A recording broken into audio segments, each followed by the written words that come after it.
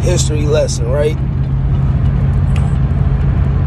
As crazy as protesters march through 4th Street Live, Walnut, no even 6th and Jefferson.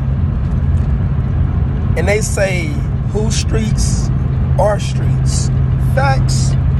Because in our reality, 4th Street used to be owned by African Americans. You know, Chestnut, you know, I just want to give a little history lesson. But it's crazy. We see this in cities. You know, Cincinnati, prime example, OTR. How these people with money, rich white folks, come in, buy the property, up the rent, and make African Americans, black people move out.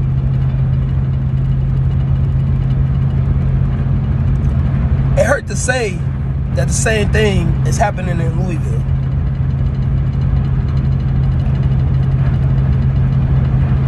Why is it that anything that African Americans do or try to do, it has to be stripped away? It hurt. It really hurts. It really hurts because, you know, Another history lesson.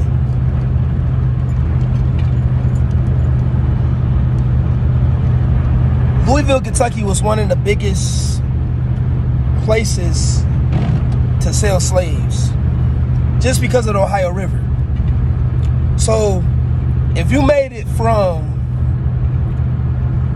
Louisville over the Ohio River to Indiana or Ohio, it's freedom. So just like in Cincinnati, you know, it, it was an area, once you made it over the Ohio River and you made it to Liberty, you was free. So I just want to motivate y'all that's protesting, right? I feel it in my soul.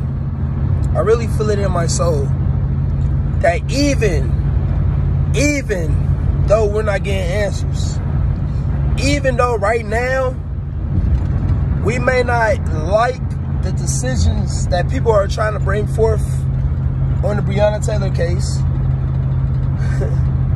Want y'all to know, man, God is on our side. It may look ugly, but I want y'all to know, just as slaves crossed that Ohio River and made it to freedom, or just how slaves made it to Ohio and Cincinnati and made it to liberty, is freedom.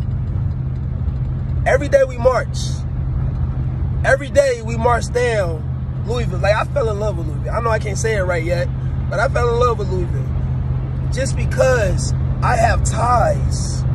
You know, even my ancestors, slaves. I have ties. And, and, and really, it really, and I, and I hate to say it this way, it really pissed me off. Because people would say, oh, we're not in the, the air of slavery. But see, you gotta understand the hurt, the mindset.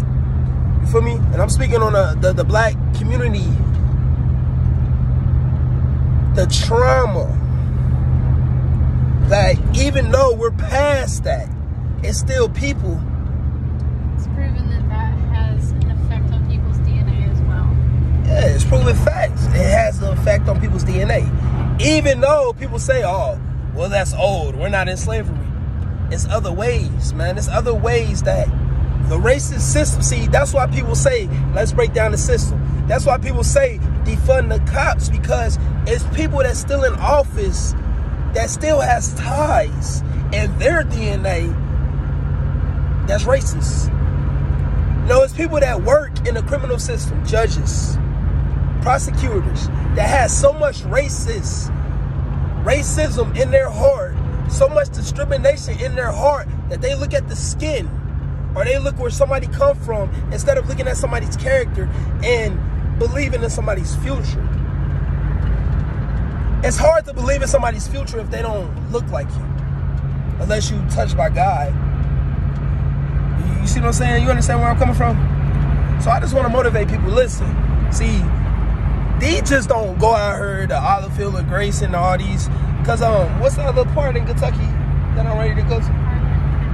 Harlan, Harlan County. Is that how you say it? So it's a little girl getting picked on. Harlan County. I'm on my way out there, and um, like I said before, I just want to, you know, back the little girl and her family, man, and show that they got support. You know, racism is wrong. Discrimination is wrong. And how dare you say slavery is over with? Do you really know your history? Break down. Watch the Amendment 13th. Watch the 13th. What is the Amendment 13th? Break it down. Educate. I love my white allies. I love y'all, man. I love my white allies that march. I even love I even love my racist white allies. Whatever. You, you feel me? I love y'all. But check this.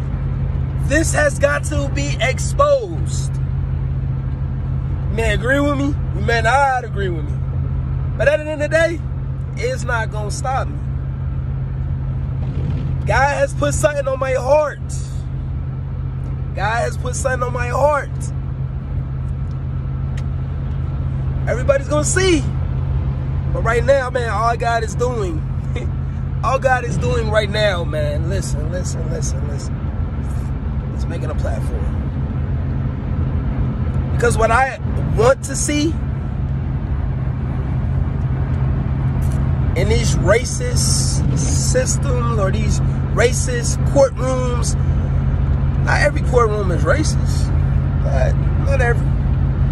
Every white person is not racist, and every black person ain't a thug and a criminal. We gotta break discrimination. Police reported ahead. Keep an eye out for Commissioner Gordon. Facts. Freedom.